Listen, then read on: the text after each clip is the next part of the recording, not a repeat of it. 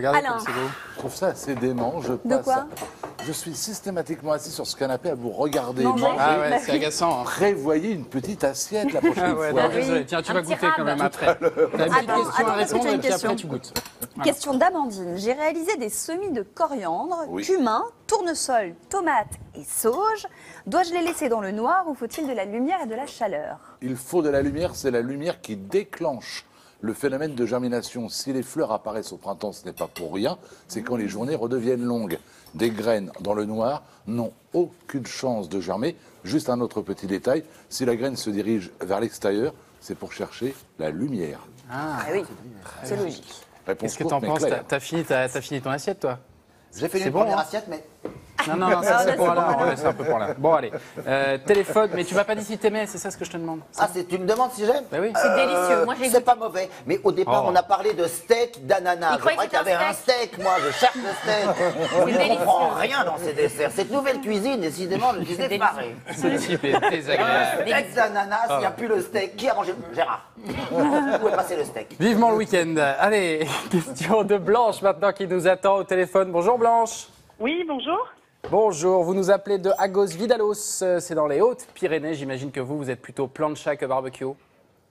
Euh, non, plutôt barbecue en fait. Ah, très bien, une de plus. Bon, la question pour euh, Mélanie, on vous écoute.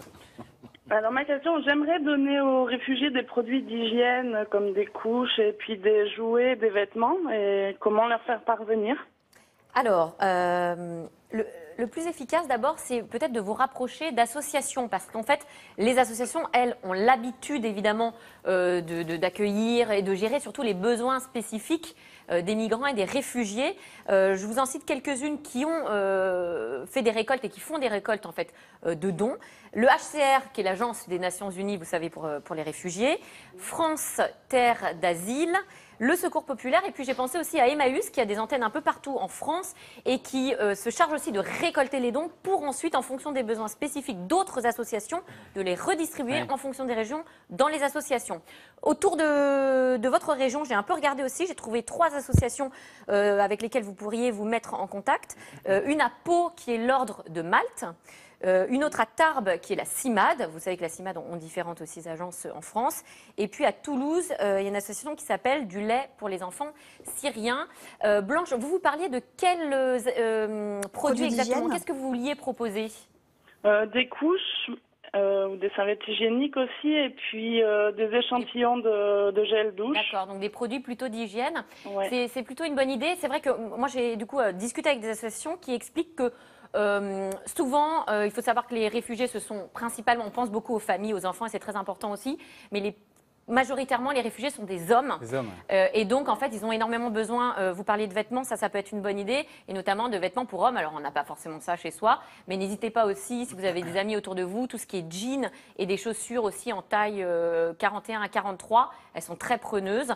Et juste euh, une dernière petite info qui pourrait euh, euh, vous, vous aider, parce que j'ai donné beaucoup d'informations et c'est peut-être pas facile de tout, euh, tout noter. Il y a une carte, en fait, interactive de France qui vous permet de vous géolocaliser en fonction des associations et des ONG qui existent autour de chez vous. C'est sur libération.fr en fait qui, avait, qui a créé cette carte. Il y a tout- toutes les initiatives qui ont été recensées bien ça. sur le site de libération.fr. Donc vous pouvez aller voir aussi sur cette carte euh, interactive. Ah d'accord. Voilà, Voilà. Blanche. Et puis, de toute façon, si vous n'avez pas pu tout noter, vous retrouverez évidemment Oui. euh, toutes les informations données par, par Mélanie sur le site de la quotidienne sur france5.fr. À À bientôt. bientôt Blanche. À bientôt. Au On revoir, merci. vous bientôt. embrasse. Gérard, le prochain cas pratiqué pour toi, Maria Pasquet s'est rendue à Cheval Blanc dans le Vaucluse à la rencontre de Marie. Une digue anti-inondation va bientôt être construite à 100 mètres de chez Marie. Problème, sa maison se trouvera du mauvais côté. Elle aimerait connaître ses recours contre cette construction.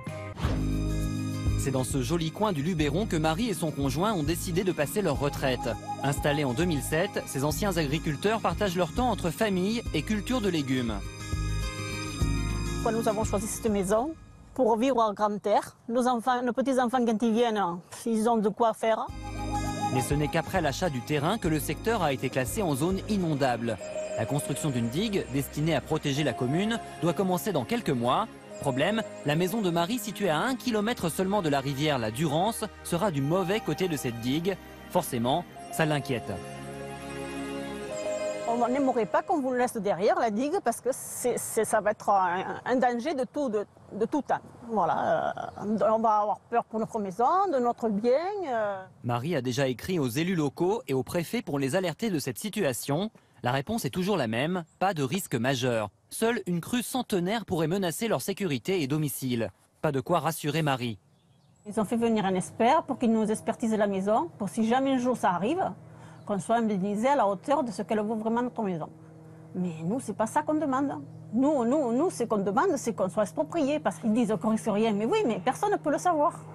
Pour l'heure, l'expropriation est une option qui est refusée par les autorités, mais Marie n'a pas dit son dernier mot. Ma question est pour Gérard. La construction de cette digue et ses conséquences m'inquiètent par rapport à ma sécurité. Comment puis-je faire valoir mes droits? Alors, je connais bien cet endroit, c'est tout près de chez moi. Il y a effectivement des digues très importantes qui sont faites parce que euh, des villes comme Cavaillon ont été inondées de façon très importante et donc il y a toute une opération pour euh, protéger euh, contre les inondations. Le problème, c'est quand vous faites une digue, il y a deux côtés. Il y a un côté qui est protégé et l'autre côté, ce qu'on appelle le déversoir où tout tombe. Et tout, on ne peut pas mettre des digues de deux côtés, hein, c'est pas possible euh, je- techniquement. Donc à partir de ce moment-là, des gens se retrouvent du mauvais côté. La question est, qu'est-ce qu'ils peuvent faire?